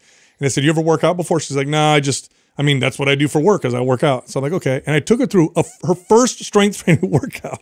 She was so strong, it was comical. The the strongest people I've ever met were from Nebraska and Kansas, and it's like, and it, they just grew up on a farm, and it's just like that constant, you know, frequency, and it's just exposure to that kind of hard work, and they they don't think anything of it, you know. So it's just like another uh, thing presented in front of them to you know to overcome the obstacle, and it's just like it's just a natural thing. I, I also think that you have. I mean, there's it's so true. There's like uh, farm strength and old man strength. They're both really th- real things. Yeah, it's they're real- real. They're real thing. They're real things, Yeah. and and similar in a sense, right? Of this just this great CNS, right? This ability to fire these muscles. Like think about when you are on a farm and you're constantly picking and rotating things. uh, Like you you you naturally start to act. You have to act. That's your foundation, your core. You activate that every time before you do that. So their their foundation. Is so solid that Yep. it's so easy to build on them because they have all those years. Totally. But you know, he's in such a great spot Great for anybody spot. watching or listening right now. Like uh, the the mistake he could make, which is actually a common mistake, is you're humming along and you're doing great, and then you go, I want Mm-hmm. to try and make this go faster. Yeah, That's when you make your mistake. Because right now he's moving such a he's nice second guessing speed. himself. Yes, like stay the course, stay the course. You'll be good. Hey, sorry to interrupt. It's October. Maps Muscle Mommy is 50% off, half off. If you're interested, click on the link below. All right, back to the show. Our next caller is Brad from North Carolina. What's up, Brad? What's up, Brad? How can we Hey, what's you? going on, guys? How are you? Good, man. I'm all right, man. Awesome, man. Well, before I jump into it, of course, I just want to say thank you for the wisdom and content you guys put out. Uh, three years ago, I was 40 pounds fatter, rocking quintessentially the dad bod, skinny fat, no muscle, and uh, turned 40 in a few months and healthier than I've ever been, stronger than I've ever been, and really grateful for you guys. Awesome, man. Awesome. Hell yeah, hell yeah. That's Love great. to hear it. How can we help you? Yeah, I gotta say too, as a pastor, I love the faith content, and uh, Sal, getting to watch your journey's been so rad, man. So keep it up. Oh, thanks for saying that, man. I appreciate that a lot. Absolutely. We wore him So for- down, bro. We wore him down yeah, after like yeah. Battle of attrition. That would have happened faster without you guys breaking my balls all the time. I guess. I guess. That's funny. Just kidding. So, to my question, uh, my posterior chain is chronically tight. I lift full body four days, four times a week.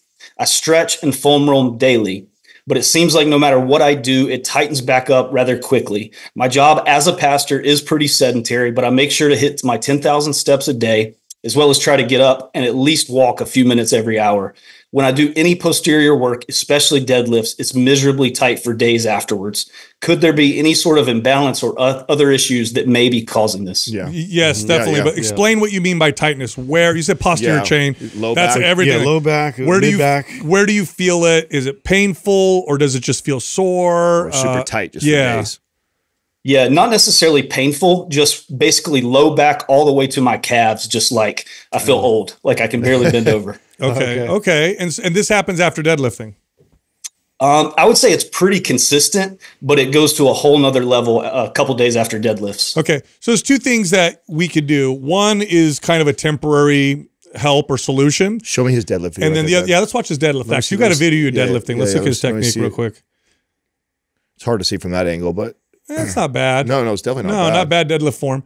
Okay, so stat long static stretching is a nice temporary fix. So literally, you get down, you stretch your hamstrings, hold the stretch for two or three minutes.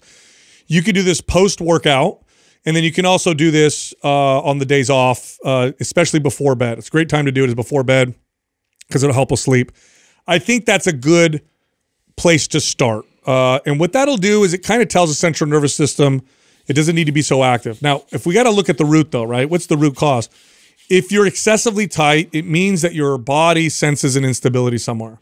Yep. And the way that your body tries to create stability is by tightening you up. So literally, the central nervous system is telling those muscles to stay partially flexed, for lack of a better term, to maintain stability. All right, where is that instability coming from? It's probably the hips, Yes. and it, it- most likely it's coming from your hips. You most likely have some issues with internal or external rotation or activation of the hips. Mm-hmm. Do you have maps? Ni- live in the 90 90, yes, brother. 90, Yeah. 90s all day. Do you have Maps Prime Pro? I don't. Okay. We're gonna send that. Let's send that to you. And there's some hip mobility movements in there. And those movements, I would pick two of them, Yeah. the ones that you really feel the most, and just practice them throughout the day. Spend, you know, three, four minutes doing one, and then, you know, a couple hours later, three, four minutes doing the other one. And what that's going to do is going to help create stability in the hips and, and, and take away the reason for your for your body to think that it needs to stay tight. From a simplicity uh, sort of perspective, if you just take like 90 90, for instance, which you'll go through and you'll see the technique with that, different variations of it, um, to just anytime you go watch TV or something where you're kind of plopped in front of the TV, like that's where I usually like tend to uh, work on some of these mobility moves, just so it's a constant, frequent thing. So it also too it triggers you to do that uh, in, in that situation. So this is going to help to reinforce and strengthen those instabilities there in the hip. There's a really good YouTube video that I did that i I think it's actually titled low back pain. Doug, maybe look it up. It's it's it's me addressing it with like the 90-90. And the intent of it is one of the most important things that you do. So I want you to watch that. We're going to give you Prime Pro, which is got And- every, and they're not stretches. What where you're going to see in Prime Pro are not stretches. You're getting into positions and you're activating. Yeah. That's why the intent is so important. Yeah. So there, and I know I did. Uh, I I really communicated this in the in this YouTube video. So as Doug's looking it up to find out the title of it. I think it's how to fix low back pain. That's So, it. so how to fix low back pain on the YouTube channel. Watch that and like just do that as much as you can. Like how you kind of make an, an effort to get up and walk every hour because you have a sedentary job. Do that. Get down there and do that. Uh, and I think this you're going to notice a huge difference uh, by getting good at that. So Yeah. live in that 90-90. Do you how do you feel, Brad, when you sit with your legs crossed like this, where one knee is kind of pointed out this way? Does that feel tight to you? Uh, no, not necessarily. Okay. All right. Let, let's let's move him into another program too. What- So Prime Pro will give you for the hip mobility stuff, but how about running him on symmetry? Symmetry would be the one. Yeah, symmetry or performance. Are you is what I was following a MAPS program, Definitely. Brad, or your own uh, programming? I'm not currently, no. Okay, let's yeah, do MAP yeah, symmetry. Will yeah. help balance. So out as you well. do map symmetry with the, the Prime Pro 90-90 movements, and we're going to solve this. Now, out of curiosity, do you get muscle cramps as well? Um, only in I have uh when I run, which is very very little because uh I get really that that anterior muscle in the front beside your shin. I forget what it's called. Tibialis. It cramps up really really bad. Like can only run a mile at a time type of thing. So that's combat stretch before you run, just so you know. Yeah, so, so before you go into a run, Yeah, this is also in Prime Pro. raises.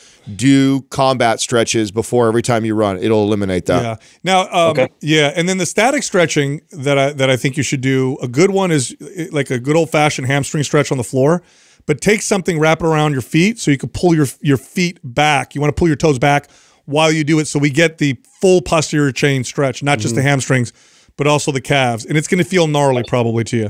And you want to hold it for like two to three minutes.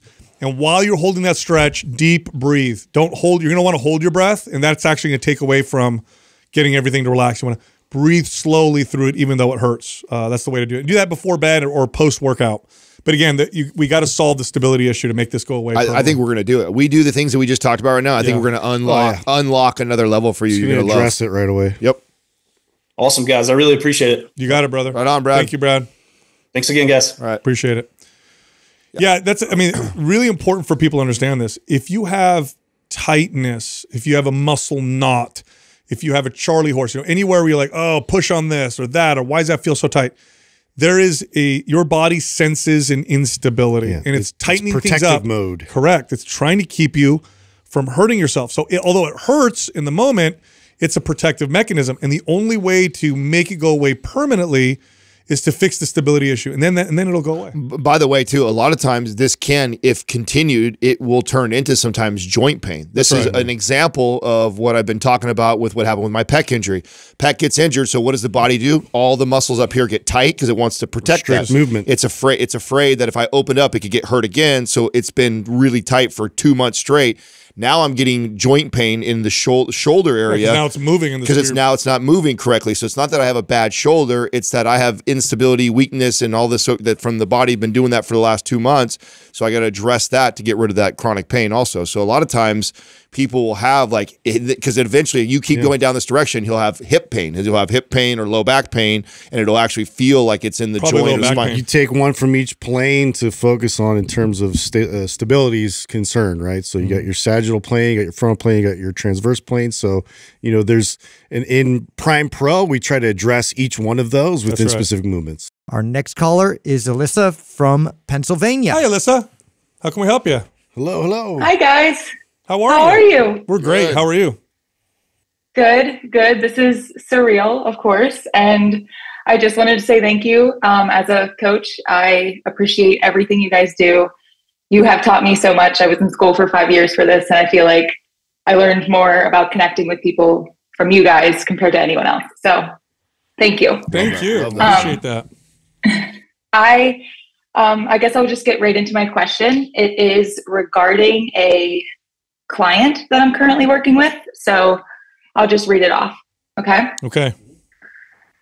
My name is oh oh stop that. Um, I am I am an online coach working primarily with around early 20s to up to like 77 year old women. I work with some men, but obviously I don't really attract males when I'm coaching people. Um, currently, I'm working with a client who has suffered from binge eating disorder, and we have consistently worked on ways to get her mindset shifted. She's also working with a psychiatrist, which I made sure from the beginning. Through our time together, she has gone down from 175 to 148 and is feeling great. However, within the past couple weeks, her energy has gotten lower and her workouts are suffering. She is having trouble finding the strength to walk 30 minutes. After discovering this on my end, I've talked to her about upping her nutrition from about 1,675 calories to 1,800. Small increase, but that increase scared scared her a little bit. Um, with this increase, she is now struggling and resisting to add food back in because she is afraid that she will gain weight and get back to her old body. Do you have any advice on working with a client in this situation? I'm afraid that the process has developed a new kind of eating disorder. Now, I did send this in May, and since then, I do have some updates on her. So I wasn't able to get her up to 1800. I got her to around 17, but I feel like she only eats like 1600 to 1650 max. Um, she has gotten more consistent with her workouts and is finding more energy, and now her weight is down. But now she wants to go even lower to 135. So I don't know how to shift. I don't know how to approach her, I guess I should say. Like, I don't know what my next advice should be. Great question. Are you working in tandem with the with Psychiatrist, her psychiatrist? Are you working with the psychiatrist? Are you talking with them? I am not, no. Okay. I, I think it's really important that you, and ask her permission, of course. Hey, Okay. would you mind if I reached out to your psychiatrist just so we can work together? Just so we're on the same page. and we're on the same page. And then I would bring this to them and say, okay, what do you suggest? What kind of conversation should I have around this?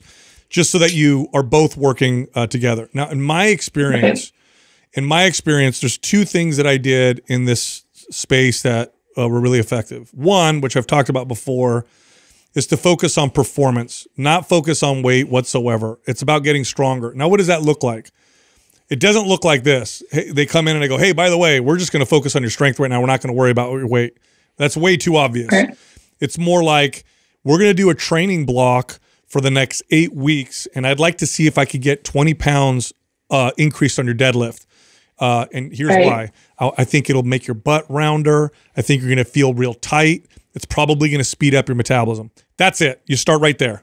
Then you start training and you start tracking her deadlift. So pick a lift or two, you start tracking it. And then when she comes in and she plateaus, which she will, say, okay, I have some ideas. Here's what I want to do. I want to add a protein shake post workout. I think that's going to help make us stronger. Um, why add the protein shake? I think the extra protein is going to fuel the strength. I'd like to see if we can get you up five pounds next week. Then everything is geared towards strength. Everything is geared towards performance. And the reason being is it's it's very hard to not eat enough and get stronger. And what happens is when they be, so here's the deal: when you have somebody that uh, is dealing with this a, a a really strong dysfunction around diet, uh, it's a hyper focus. Okay, Right. and so what we're trying to do is change our focus. And ideally, what ends up happening is this client becomes somewhat hyper focused on their strength, and it can happen. And when they do it, and they see the bar go up in weight, they see they can do extra reps, and it's celebrated, and you're excited about it, and nobody talks about body fat percentage, nobody cares about any of that stuff. And if it comes up, you say something like, "Oh yeah, you you know, you're probably leaner because you're getting stronger." What do you mean? Well, you get stronger, your metabolism speeds up. You know, it's kind of cool. But really, let's get another Right. 10 pounds on us.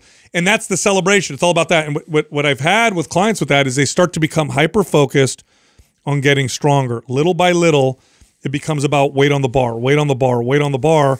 And then before you know it, she doesn't care about anything but getting stronger in the gym. And it feels like a success story. Have you um have you tried to get her not to weigh and don't count counter calories? Have you, has that been a conversation or an, have you attempted to do that yet? We have talked about it. Um, How does that go? she has very, she has a very restrictive diet, like doesn't eat processed foods, doesn't eat gluten. Uh, and I'm afraid that when she doesn't track, she undereats even more. And then that's what caused, like, I feel that's what caused her binge eating disorder was that she was under eating throughout the day. And then she would go into nighttime just starving. Um, we have, she's went on vacations and stuff and not tracked, but other than that, like we haven't and then what? a period. and then what it. about the scale? Has she been able to move away from the scale? Can we get her not weighing herself? I can try for sure. Um, the only success I have with that is when she's on vacation. Yeah. And Other than that, it's like she doesn't want to go more than two days. here's the, here's the, here's the conversation around the scale. Okay, that's not the first thing I would say because she's gonna know what you're up to. Hey, don't weigh yourself Right. and stop measuring, you know, tracking your food. She's gonna be like, yeah, right. Like I know what you're. It's literally she's gonna come in and be like, okay, we're gonna do a six week training block, and my goal is to see if I could get your squat up to you know uh, whatever. Give her a weight. Uh, You know, we're gonna add 15 pounds to your squat. Why? Well, it's I mean, it's gonna make your butt real round and it's going to probably speed up your meta- definitely will speed up your metabolism. But I'd like to do a training like like the goal for the next six weeks is let's see if we can get your squat up to whatever weight, and then that's all you're talking about when you train. Besides life stuff, because I'm sure you guys are friends. When you're Yeah. talking about fitness, it's about mobility for the squat. It's about depth for the squat. It's about control for the squat. And then what'll happen is she's going to plateau inevitably she's going to plateau And then the conversation is going to pop up, and you'll be like, you know what? Uh, I think weighing yourself is getting in the way of us getting the squat up. Let's can you can you take your scale, not weigh yourself for the next three weeks? I want to see what it does to your squat, but wait till it pops up Right. before you bring it up that way. So there's, I've had a handful of clients like this. Um, when you do that training, do you train this person? Do you see her in person? No, Oh, okay. I, I- just just zooms like Damn. Okay. Because what what I week. yeah, and, and something else that's I'm glad you asked that. It makes what- it much more challenging. It does. Yeah, this it does make it a Yeah. lot because what I would do is I'd actually tell them they can't weigh, but I'll weigh you every day, and I and I would assure them that like I Mm-hmm. and I'd make my client turn around backwards on the scale, and I'd be like, don't worry, I'm going to keep track of our weight, and if I see anything if out of normal going the wrong way, I'll make sure we adjust. But I I want to see it just for Nick. You know, I don't want you to see it because I don't want a one pound up or down fluctuation for you to change your behaviors. We have a plan to get strong. That's the focus, and so that works really well when you have them in person. This does make it a little bit more challenging when you can't control Is- that. Uh, and now, as far as you know, what you said earlier. Now you said she feels a little better, but in your original question, you said she was having trouble walking or finding the 30 strength. to- minutes. yeah, that sounds more like a nutrient deficiency and less like she's not eating enough calories. Sixteen seventy five.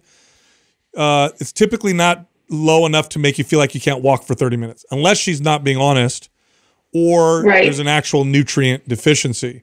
So that might be something to look at as well, like a multivitamin hmm. like or or have her get her nutrients tested. That's to me when I hear somebody say, "I my God, I can't even walk for thirty minutes." I'm like, okay, there's B vitamin deficiency or an iron deficiency, Possibly sodium. something, right? So a nutrient test would be good. Does she take? Does she take like an, an electrolyte at all? Does she take like LMNT or anything? I recommend it. I've sent her many links of Okay. like LMNT and Okay. a bunch of different ones on Amazon because that was something that because she doesn't really add any salt to her diet. At Yeah, all. you said she's So- not a. She doesn't eat processed food. You said right. She's a whole food No. person. Yeah. So and she's Mm-hmm. that low a calorie and whole foods. I'd have She her doing. I'd have her doing two of those packets a day. And then and then the psych Okay. and then because she's working with a psychiatrist, I'm assuming she's on meds. Uh, it's so important to talk a psychi- to the psychiatrist because number one, you want to be on the same page, but second, she may be on a medication that is causing her to feel like this, and the psychiatrist might not be fully aware because you're the trainer. So you'd be like, listen, her energy really significantly went down. Are there any medications that she just went on? I'd like to work with you. Um, is there anything you'd like me to focus on when it comes to her diet and exercise? Things you want me to say, things you don't want me to say. That's how I would approach Right. that. No, I agree with that. I think getting in contact with them would be my number one step after this call for sure. Yeah, because she could be put on a med.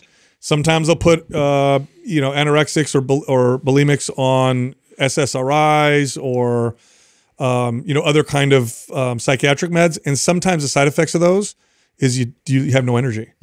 Sometimes, so you know, you, it's definitely important to work uh, in tandem with them. Okay. All right, we'll do. No, this this has helped a lot. Um I like I love her and I want her to succeed, but I was so afraid that I was developing another eating disorder while we were working together because she's definitely one that I feel goes on information overload, like takes Dr. Gundry's like takes all these people's advice and I'm like, let's rein it in. let's bring it down to the basics. But yeah. Yeah, and and, and again, performance. I'd focus on performance Yeah. for sure. And so, in other words, you can talk about nutrition as it relates to performance, as it Okay. relates to strength, as it relates to how she feels. Okay. We'll do. We'll do. Thank you so much, guys. You got it. Um, I also have a comment. If, if you don't mind me saying something really quick. Sure. That's- only Is if it- it's a good wait, one. If it's a good on. one. Is it constructive criticism? Because no. it is it is not constructive criticism. Okay, Okay. go go ahead. But I was listening to I forget it might have which episode one that you aired last week talking about clothes in the 2000s how they haven't really changed. Uh, yeah. as a 30 year old, um, it's not that they haven't changed. To early 2000s is now trending again. Oh. So we've gone back to this because we were in the how old we are. 90s and now It's we're all cyclical. Yeah. That's how old we are, dude. I told Sal, right? If we talk No. to somebody who's, up. You're not as I said if we you talk to somebody who's in 30, they would say it's totally different. They see it from a different lens than we do, Hey. Adam has such a tough time 100%. accepting that he's not cool anymore. No, that's not he it. That's not it. I'm Yes, very. I'm very aware that I'm unaware. I'm very aware of that. I'm very aware of that. Yes. yeah. Yeah, I'm And not- go ahead and tell out tell. Sal Sorry, guys. tell Sal, tell Sal that I'm the coolest one of the three of us. That's not that mu- that's not that hard though. the bar's low. Yeah, that's No, thank you. I appreciate that, One Lisa. step. That makes sense. I have. All right. Thank you guys so Thank much. You got I will listen to you guys very shortly. All right. You got it. Thank, Thank you. You definitely are the coolest. That is, uh, yeah, yeah. So yeah, it's not saying much, right? Uh, so tallest midget. I you, this wow. is this I don't think you is can say that uh, this is uh, this right here is so hard to handle in person.